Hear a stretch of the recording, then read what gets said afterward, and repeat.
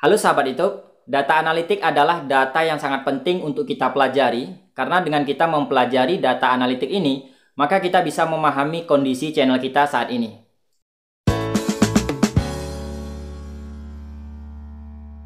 Halo semuanya, perkenalkan saya seorang YouTuber yang membahas ilmu seputar YouTube.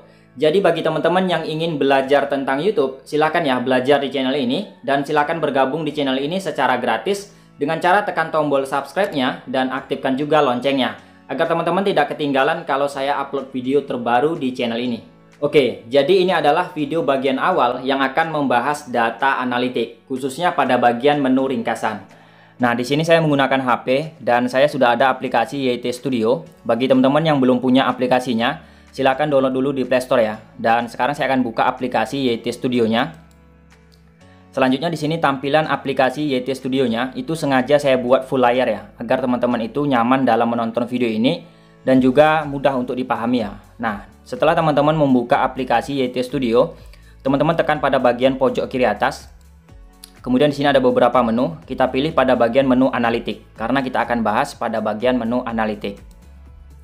Kemudian di sini juga ada beberapa menu yang ditampilkan dan hari ini saya akan fokus dulu pada bagian menu ringkasan. Jadi data analitik ini adalah data dari keseluruhan channel kita. Jadi semua data yang ada di channel kita itu ada di bagian menu analitik ya.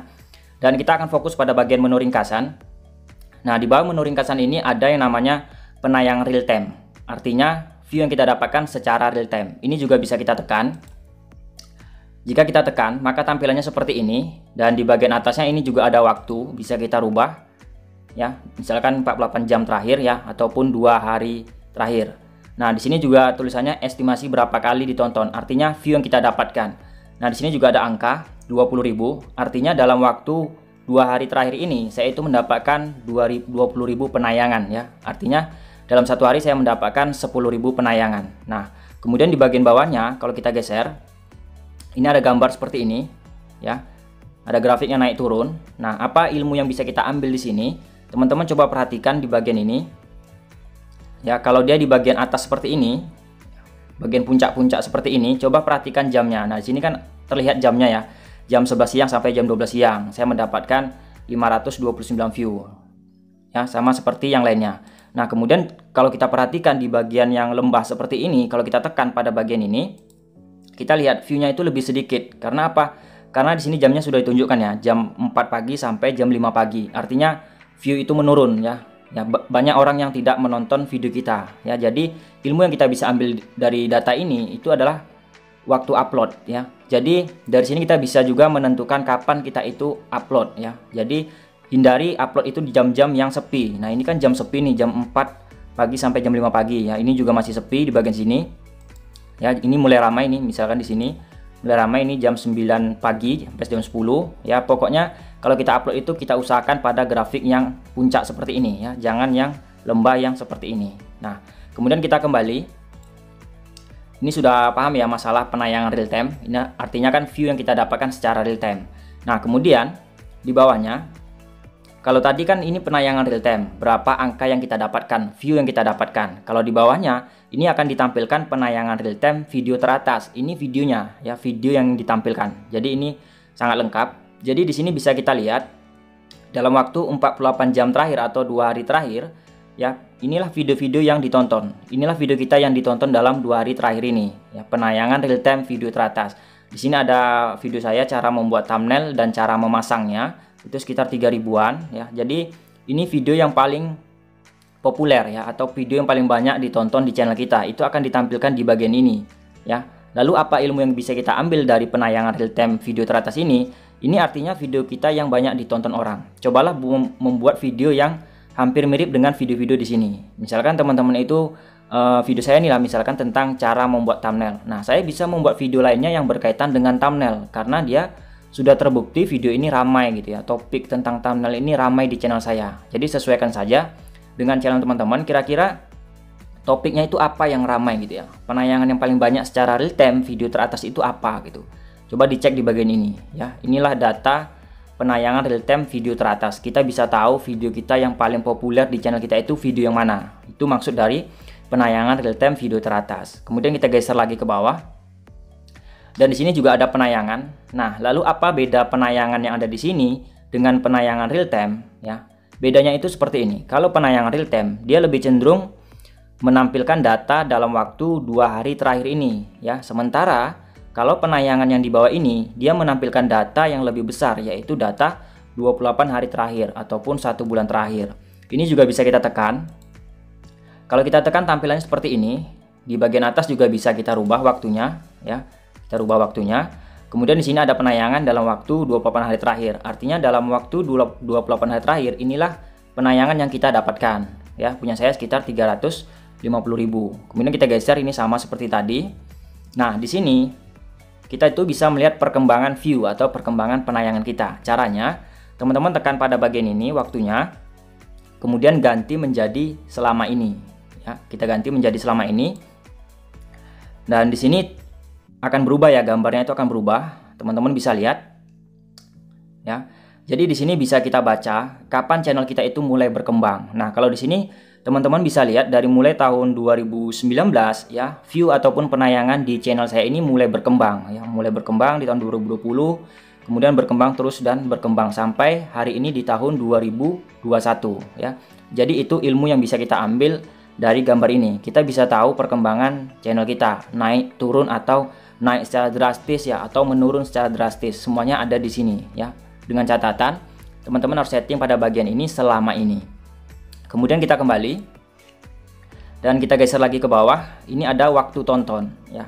Waktu tonton ini ataupun jam tayang ya. Jadi kalau mau melihat data jam tayang juga bisa di sini. Kita tekan aja. Sama seperti penayangan tadi dia ditampilkan dalam waktu 28 hari terakhir. Waktunya juga bisa kita ganti ya. Sama. Kemudian di sini kalau dulu itu jam tayang atau waktu tonton itu ditampilkan dalam waktu menit ya. Tapi sekarang itu sudah diperbarui. Jam tayang ataupun waktu tonton itu sudah diperbarui menjadi datanya bentuk jam. Jadi angka yang di sini yang 16.733 ini itu adalah jam ya, bukan menit lagi. Artinya dalam waktu satu bulan terakhir ini ya, 28 hari terakhir ini saya itu mendapatkan uh, jam tayang sekitar 16.000 jam ya. Jadi bagi teman-teman yang mau mengecek berapa jam tayang dalam waktu 12 bulan terakhir ini atau satu tahun terakhir ini, waktunya itu bisa diganti di bagian ini, tinggal diganti aja pada bagian 365 hari terakhir. Ini adalah data jam tayang yang kita dapatkan dalam waktu satu tahun terakhir atau 12 bulan terakhir ya. Ini waktu tonton sekitar 143.657 jam ya. Teman-teman harus paham bahwa angka yang di sini adalah angka yang ditampilkan dalam bentuk jam. Oke. Kemudian kita lanjut kembali. Dan kita geser bagian bawahnya. Ini ada bagian menu subscriber ya. Sama datanya seperti tadi penayangan ataupun jam tayang juga bisa ditekan. Dan kita di sini juga bisa melihat berapa subscriber kita ya. Jadi dalam waktu uh, satu bulan terakhir ini saya mendapatkan subscriber sekitar 5 ribuan. Juga bisa kita ganti waktunya misalkan kita kepo gitu ya pengen tahu berapa sih subscriber yang saya dapatkan eh, tujuh hari terakhir ini misalkan. Kita tekan aja tujuh hari terakhir Sini bisa terlihat ya, ada sekitar 1000 ya. Nah, jadi kalau panahnya ke bawah itu artinya turun.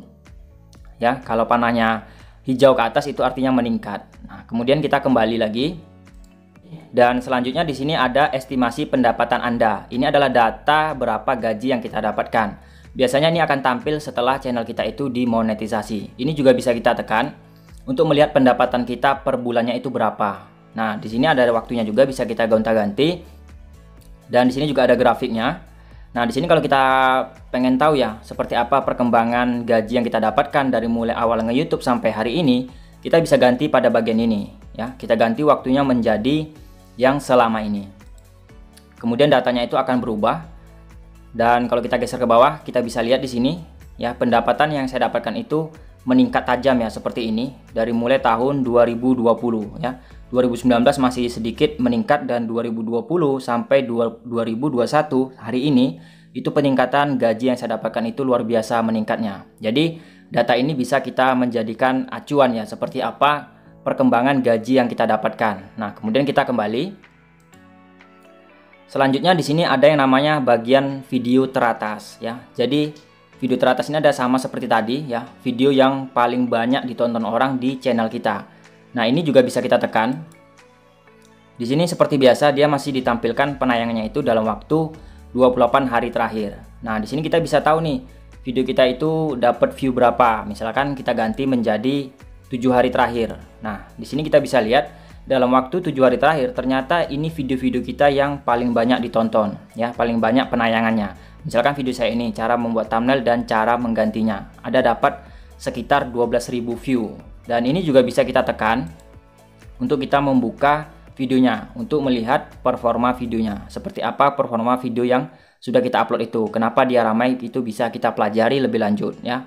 Kemudian kita kembali jadi ini beberapa video yang paling populer di channel kita ya dalam waktu 28 hari terakhir tergantung dari waktu yang teman-teman setting. Misalkan 28 hari terakhir ya berarti dalam waktu satu bulan terakhir inilah penayangan yang paling banyak di video kita.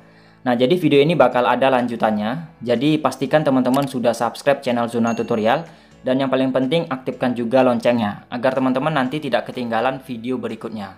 Terima kasih nih buat teman-teman yang sudah menonton. Sampai ketemu lagi di video selanjutnya.